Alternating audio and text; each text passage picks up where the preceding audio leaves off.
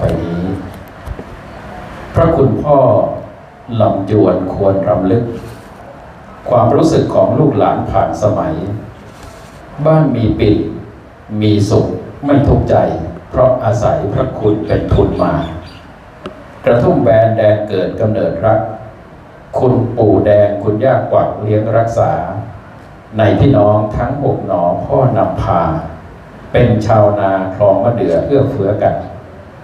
พ่อเคยเป็นทหารเรือรับใช้ชาติ ใจอกอาจคราวกบฏแมนฮัตตัน อุปสมบทวัดงอนไก่ใจผูกพัน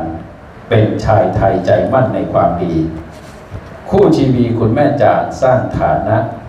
พ่อเอกกับการศึกษาสง่าสีบุตรธิดาได้เรียนรู้ชูชีวี เสริมศักดิ์ศรีมีปิด ทุกถิ่นไป ลูกพรทิพาพลโทพระจงเจต งามวิเศษแนวทางกระจ่างใส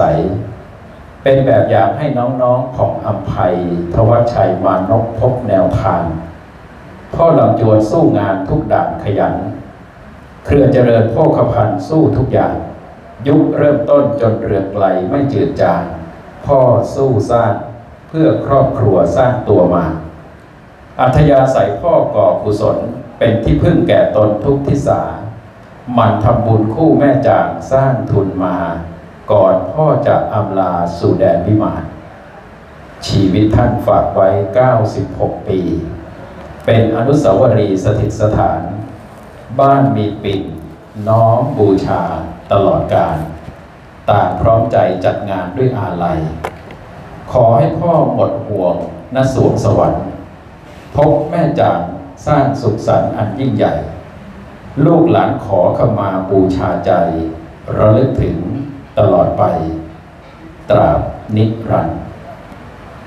ด้วยอนุภาพแห่งคุณพระศรีรัตนตรัย และบุญกุศลทั้งหลาย ที่ครอบครัวมีปิ่นตลอดถึงที่ท่านผู้มีเกียรติทั้งหลายได้ร่วมบำเพ็ญให้เป็นไป จงเป็นพลวะปัจจัยหนุนส่งให้ดวงวิญญาณของคุณพ่อลำจวนมีปิ่นได้ไปสถิตสวยอุดมสุข ในสุคติสถาน ณสัมปรายภพด้วยเธอ